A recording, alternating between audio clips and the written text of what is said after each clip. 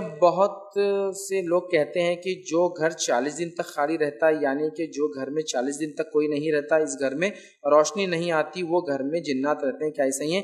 دیکھیے، اگر جس گھر کو آپ بند کرتے ہو بسم اللہ پڑھ کے لگا دے جس دروازے کھڑکی کو بند کرے بسم اللہ پڑھ کے لگا دے جس پانی کی تھیلی کو کھولے اور بند کرے بسم اللہ پڑھ کے لگا دے اور جس جگہ آپ کوئی کام کرے تو کھولے بسم اللہ اور بند کرے بسم اللہ سے، اس جگہ شیطان داخل نہیں ہوتا، پھر آپ چار دن، چالیس دن یا کتنے بھی دن گھر سے دور رہے، اس سے کوئی فرق نہیں پڑتا۔ بسم اللہ کہہ کر لگائے، بسم اللہ کہہ کر تالا ڈالے۔ آپ نے فرماتے جس گھر پہ بسم اللہ کہہ کر دروازہ بند نہیں کیا تھا تو شیطان کہتا ہے، آج رہنے کا انتظام ہو گیا۔ اور جس گھر میں لوگ بسم اللہ پڑھ کے نہیں کہتے، شیطان کہتا ہے، آج کھانے کا انتظام ہو گیا۔ اور جس گھر میں خالی بستر ہوتا ہے ایکسس ایکسٹرا بستر، اس پہ بھی شیطان سوتا ہے آ کے روز ایکسس نہیں ہونا چاہیے، جتنا ضرورت ہے اتنا ہونا چاہیے گھر میں بستر۔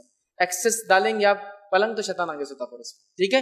تو لہٰذا چالیس دن ہو، چار مہینے ہو یا چار سال ہو، آپ بسم اللہ پڑھ کے بند کیجیے بسم اللہ ٹھیک ہے؟ جب بسم اللہ نہیں پڑھیں گے تو پھر یہ سب تو ہوگا کہ شیاطین بولیں گے، رہنے کو مل گیا۔ حدیث واضح ہے، جس گھر کے دروازے بسم اللہ کہہ کر کھولے اور بند نہیں گئے، شیطان آ کر رہتا ہے۔ کھانا کھاتے بسم اللہ پر شیطان آ کے رہتا ہے۔ نوالا گر جائے تو آپ سے فرمایا اٹھا کر صاف کر کے کھا سکتے تو کھا لو، ورنہ شیطان کھاتا ہے اس کو۔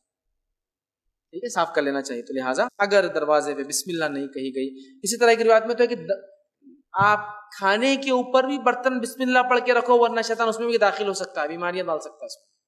تو آپ ڈھکتے ہیں نا کھانا، عورتیں ڈھکتے ہیں تو اس پہ بسم اللہ پڑھنا چاہیے۔ ٹھیک ہے، ورنہ بیماریاں ہوتی ہیں۔ اسی طرح ایک دوسری روایت میں ہے کہ بیماریاں نازل ہوتی ہے لہٰذا جب بھی کوئی چیز کھانے کی کھولی مت رکھو۔